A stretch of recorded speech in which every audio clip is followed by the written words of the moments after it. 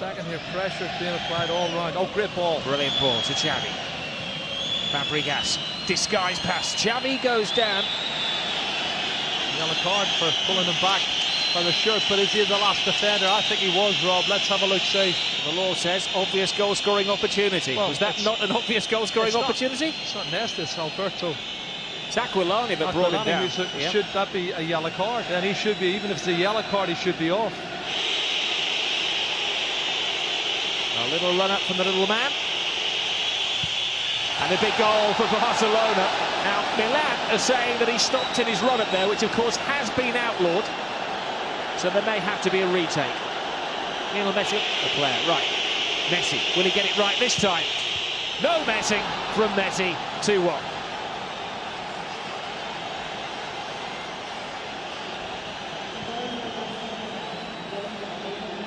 I think we're in for a treat tonight. Really do. There's so much open play. Both